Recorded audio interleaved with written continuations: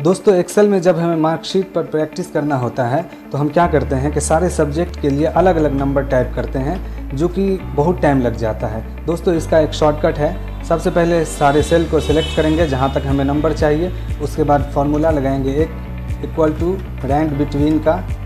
ठीक है?